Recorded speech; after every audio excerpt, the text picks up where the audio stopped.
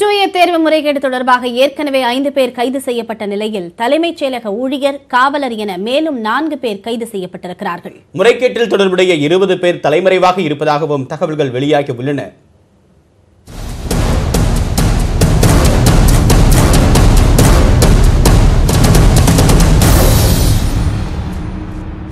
TNPSC தேர்வு முறைகேடு தொடர்பாக சிபிசிஐடி விசாரணையை தீவிரப்படுத்தியுள்ளது.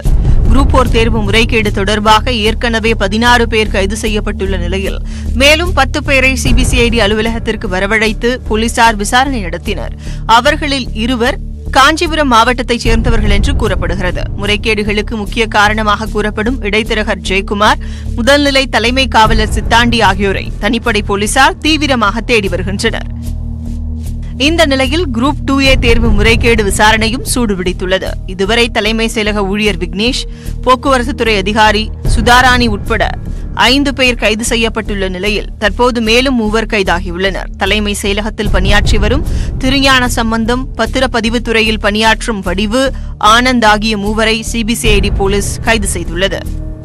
குரூப் டூ ஏ தேர்வில் முறைகேட்டில் ஈடுபட்டதாக நாற்பத்தி இரண்டு பேர் கொண்ட பட்டியலை கொடுத்து டிஎன்பிஎஸ்சி புகார் அளித்திருந்த நிலையில் இதுவரை எட்டு பேர் கைது செய்யப்பட்டுள்ளனர். மற்றவர்களில் இருபதுக்கும் மேற்பட்டோர் தலைமறைவாக உள்ளதாக கூறப்படுகிறது. இதையடுத்து அவரது செல்போன் எண்கள் அவர் தொடர்பு கொள்ளும் நபர்கள் அவர்களுக்கு உதவி செய்யும் அதிகாரிகள் யார் என சிபிசிஐடி போலீஸ் தொடர்ந்து கண்காணித்து வருகிறது. குரூப் டூ ஏ தேர்வில் முறைகேட்டில் ஈடுபட்டவர்கள் இருபது கேள்விகளுக்கு மட்டும் விடைத்தாளில் பதிலளித்துவிட்டு மற்ற கேள்விகளுக்கு பதிலளிக்காமல் விட்டதும் அதன் பின்னர் அதனை இடைத்தரகர்கள் நிரப்பியதும் விசாரணையில் தெரியவந்துள்ளது. குரூப் போர் தேர்வில் எத்தனை கேள்விகளுக்கு பதிலளிக்கப்பட்டது என விடைத்தாளில் குறிப்பிட வேண்டும். ஆனால் குரூப் டூ ஏ தேர்வில் அப்படி எதுவும் குறிப்பிட வேண்டாம் என்பதால் இருபது கேள்விகளுக்கு மட்டுமே பதிலளித்துவிட்டு மற்றதை இடைத்தரகர்கள் மூலம் நிரப்பி தேர்ச்சி பெற்றுள்ளனர். தேர்வு முறைகேடு தொடர்பான சிபிசிஐடி விசாரணை ஒளிவு மறைவின்றி நடத்தப்பட்டு வருவதாகவும் முறைகேட்டில் ஈடுபட்டவர்கள் மீது குற்ற வழக்குகள் பதியப்பட்டு சிறைக்கு அனுப்பப்படுவார்கள் என்றும் அமைச்சர் ஜெயக்குமார் தெரிவித்தார். ஒன்று வந்து துறை ரீதியாக நடவடிக்கை அது. சரிதானே வேலை போகும் சஸ்பென்ஷனு இது துறை எடுக்க நடவடிக்கை கிரிமினல் நடவடிக்கை.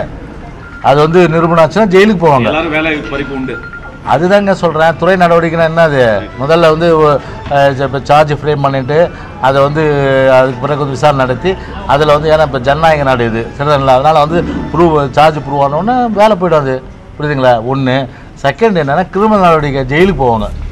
இதனிடையே டிஎன்பிஎஸ்சி தேர்வு முறைகேடு எதிரொலியாக ஆசிரியர் தேர்வு வாரியம் நடத்தும் வட்டார கல்வி அலுவலர் பணியிட தேர்வுக்கான தேர்வு மையத்தை ஆசிரியர் தேர்வு வாரியமே ஒதுக்கீடு செய்ய முடிவு செய்துள்ளது.